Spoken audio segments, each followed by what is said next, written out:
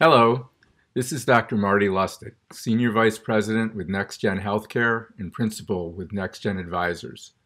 Welcome to our podcast series. In our August 14th podcast, we discuss the opportunities and challenges associated with integrating behavioral health with physical medicine. Since September is Mental Health Month, we've decided to devote today's discussion to mental health issues, and particularly depression in the face of the COVID 19 pandemic. I'm joined by my colleagues, Graham Brown and Dr. Betty Rabinowitz. Welcome, Graham and Betty. Good morning, Marty. Nice to be with you. Hi, Marty. Hello. Even prior to the pandemic, depression has impacted about one out of six adults in the U.S., and it's expected to be the leading cause of disability over the next 20 years and suicide is already the 10th leading cause of death in the country. Aside from the suffering of individuals afflicted with depression, family and work relationships are often impacted, not to mention the estimated 30 to 40 billion dollars of annual economic impact. Before we get into the issues related to the pandemic, I'd like to hear your perspectives on the implications of these statistics for healthcare providers in general. Graham? It doesn't surprise me in some ways that the general population would have a similar experience with regard to depression and suicidal ideation that uh, medical providers would. You know, if we look at the population, doctors and, and nurses and other uh, medical practitioners aren't necessarily any different than the rest of us. So, hearing that those levels are as high as they are is concerning overall when we when we do think about some of the ongoing day-to-day pressures that physicians and clinicians find themselves in, uh, you can see where some of those problems might exacerbate, might be worse, where they might be in more stressful or really difficult decision-making situations um, that could make all of these elements more problematic. Betty? I think what's striking to me is how prevalent depression is in practice. And what that means for the way we prepare medical students and residents and practitioners to tackle uh, treating patients with depression. And and clearly in the separation kind of of mind and body that's occurred in in healthcare many providers find themselves pretty ill equipped to deal to diagnose and treat this extremely common condition. So I think it's a it's a um, message to uh, healthcare educators, to practitioners. This is an important, very common condition that we need to get better at identifying, better at treating, and that it is uh, certainly the, the burden of suffering both and risk is, is present and uh, extremely uh, uh, important when you when you think of, for example, a, a specialty like primary care. It, it, it's funny that there's discomfort with this, despite the fact that there are actually pretty effective treatments. I don't know, Betty, if you can talk a little bit more about that. Absolutely. Um, clearly, the, the face of treatment of uh, depression has changed in the last 20 years or so with the advent of, of newer drug modalities that are well tolerated, uh, easily prescribed with the, with the skill set of a primary care uh, clinician. And it's, it's quite amazing to see how many primary care visits where the underlying cause for the patient's visit is truly emotional anguish get assigned to a physical symptom that gets dealt with. Uh, the depression is, is not unmasked, not discussed, and therefore not treated. It, it, it um, is a measure of some of the, the uh, forces in primary care, but also a measure of our societal stigma around mental health, behavioral health issues, and the notion that uh, having depression is less honorable than having tuberculosis. We bring our prejudice very clearly into the exam room on both sides of, of the exam room, the clinicians and the patients. Well said. Now let's turn to the impact of COVID on depression. What do you see as the implications of the pandemic, both for those who already have mental health, health problems as well as those with no prior history? Graham? The you know existence of of existing issues for folks is clearly, I would imagine, being exacerbated and just brought into greater focus and a greater sense of uh, impact by the COVID 19 pandemic. Requiring individuals, and as we've done for community to prevent community spread, has translated into policies around uh, isolating ourselves and making sure that we're protecting each other. That that alone puts people into a situation where they don't have the connections, where they're not con- getting the types of therapies potentially that they might have done, don't have the interaction with their social networks.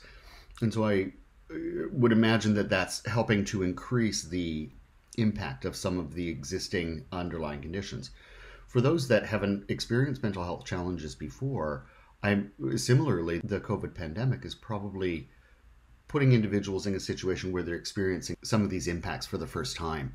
And that can be really disconcerting for individuals who may not have a direct awareness of what uh, mental health feels like and looks like in their own lives. So, those elements of isolation, the ability to really um, connect with other individuals and have social actions, interactions, uh, I would imagine is, is making all of this more problematic. Betty? psychosocial stressors uh, with angst around safety, livelihood, work, uh, the isolation from work with many people working from home has obviously put an added burden on people with pre-existing uh, tendency or uh, clear uh, depression and i'm sure has increased the ranks of people struggling with depression right now. It's i also was thinking yesterday as we approach 200000 deaths in this country from covid about the circles of grief and sadness that surround those deaths where even our um, rituals around uh, mourning and burial and funerals have been altered drastically and that each of these families becomes a uh, a kind of a nidus or a, a, focus of incredible sadness and loss that hasn't had the mitigation of the social rituals that we usually are allowed to engage in when uh, when this loss occurs. So for many of us, this is a very sad time. For others, it's a time of great angst and worry. A lot of stress around childcare and children being at home, and the uh, stress around schools reopening. Uh, so this is a challenging time, certainly for people who are vulnerable and many others.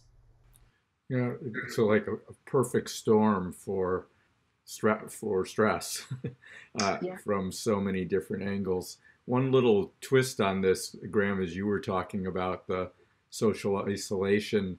A colleague of mine at the very beginning of the pandemic, when the recommendations for social distancing came out, called me and said, We need to do something about this. We should be calling it physical distancing, not social distancing. People are going to feel isolated. It's going to exacerbate mental health issues. And we, you know, we should reinforce that social connectivity is going to be critical, even though you have to physically distance. And I think he had a great point that unfortunately uh, didn't get heard across the country. So I'd like to turn now to some of uh, what we've been hearing as we've talked to providers across the country, and mental health issues have been discussed frequently in those interviews. What did you take away from those conversations that might be helpful to other providers? Betty, you want to start? Sure. I think there were two clear messages. The first was that for an organization to thrive th- through this period of change, there had to be an awareness and a focus on the well being of the teams, the care teams. And that organizations that were thoughtful and proactive around that were able to fare better uh, through the storm by creating opportunities for physicians and care teams to share experiences, to uh, talk about their uh, concerns and anxieties, that effective communication with the team about information, workflows, changes to workflows. Why those changes were being made was more critical than ever. That transparency of leadership to uh, uh, to communicate those changes was extremely important. So self-care and care and care team care became really uh, very important. That was one issue, and the second was that telemedicine offered an incredible opportunity to continue reaching out to patients and uh, continue providing behavioral health uh, services, but even reaching out to patients who did not specifically fall under the category of behavioral health, and that groups that took advantage of that modality early uh, were able to offer their patients a great service. Graham? Some of the things that were really interesting to hear, to build on what Betty just said, was how, particularly with some of the behavioral health clinics that we talked to, they had a very proactive and intentional approach to how they were going to support each other through this. And I think being practitioners in that space, they recognized the stresses and risks that they and their care teams were going to be going through. And so I think they really tried um, very intentionally to create a support structure within their care team to ensure that they were talking through issues, elevating concerns, providing the right supports to each other, and just sharing their stories so that they really were supporting and backing each other up. That was really heartening to hear. The same time, maybe outside of the interviews and discussions we had directly with some of the uh, the client leaders across the country, some of my own personal experiences. You know, I, each of us knows a lot of different folks in the healthcare field in different roles and uh, positions and speaking to some of my colleagues and friends who have been working in hospitals and treating COVID patients, they've then, you know, in their own personal lives, been living separately from their spouses, living on a different floor, isolating at home. Um, they're not into inter- able to interact with their partners uh, or their friends in the same way that uh, they had in the past. So I do think even outside of the work environment, these impacts kind of translate more deeply into everyone's personal lives, uh, and particularly for those who are, you know, providing healthcare directly to infected individuals that's that's above and beyond then the decision making that some of these folks have needed to go through particularly at earlier stages in the pandemic when there were indeed shortages of personal protective equipment very high risk individuals that needed ventilation and you know clinical decisions needed to be made and moral decisions needed to be made on who is appropriate to get that level of care. That kind of decision making just you know it, everyone i think recognizes as part of the medical profession but when it really comes to that level of, um, you know, the point of a pin, it's pretty dramatic and pretty uh, impactful, I would imagine, for folks in this situation to have to just wrestle with and then process. That kind of brings me to the next issue I wanted to talk about, which was the particular stresses that the pandemic has created for healthcare workers. And I would go back to the June report of the emergency department physician in Manhattan who you know unfortunately committed suicide really brought the whole issue uh, to the headlines. Betty, can you talk a little about the particular risks that providers face and perhaps give us your thoughts on ways to lower those risks? Sure. I think Graham outlined some of the moral, ethical dilemmas and safety dilemmas and concerns that physicians have and care teams as a whole. I, I use physicians just as a providers as a, a, a general term, but this is nurses and uh, respiratory therapists and technicians and um, all uh, the, those that staff a, a, a medical team have been faced with a work environment that is incredibly uh, altered and changed from what they're used to, huge volumes, fatigue, uh, shifts that are long and intense with no uh, rest, heartbreak around them with separating very ill patients from their family and support system, where they have become the su- emotional support system for patients because their families are removed and, and, and not available. Uh, all of that puts uh, incredible uh, burden on physicians. There's also a incredible cognitive and emotional dissonance between their experience and the pictures on the TV screen of people recklessly partying in large groups in absence of uh, social distancing, in absence of masks, which creates a sense of here we are putting ourselves at incredible personal risk. There's over a thousand healthcare providers who have died in uh, in this pandemic, putting ourselves in at risk, working around the clock, removed from our families, struggling with ethical and, and moral uh, dilemmas where others aren't respectful of that um, that reality by protecting themselves and, and, and others.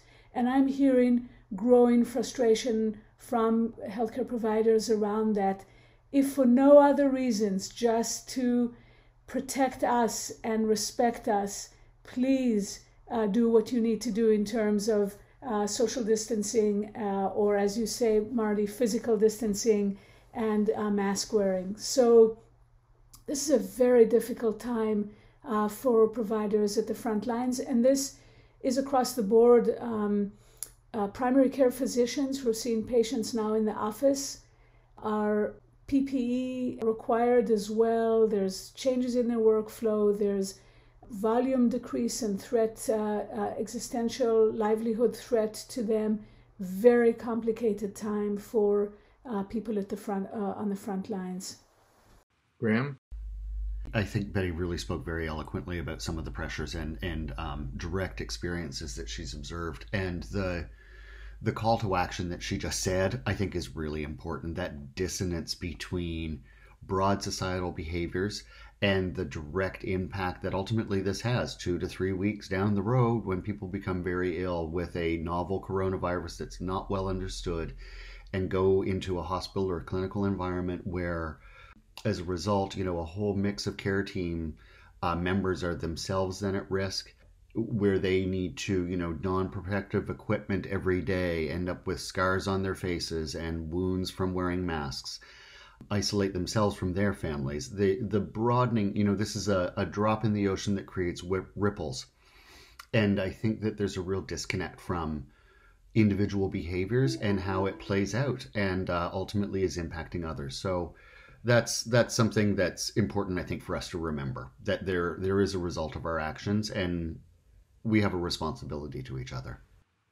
So I'd like to uh, bring it up to a more positive note to end on, uh, and that is that you know as as we've listened around the country and spoken with leaders from uh, provider organizations, I've found it inspirational uh, how many of these leaders have done such a phenomenal job of supporting their organizations that they they really understand their role in meeting the needs of everyone in their organization so that their organization can meet the needs of the community that they serve.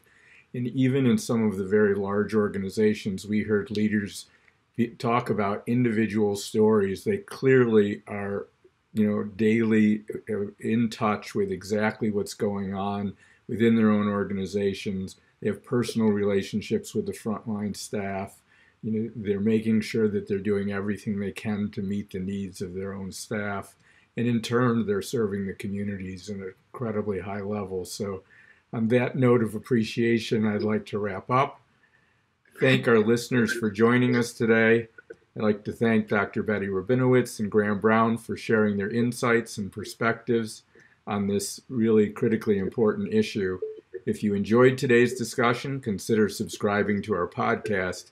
This is Dr. Marty Lustig with NextGen Healthcare. Have a great day.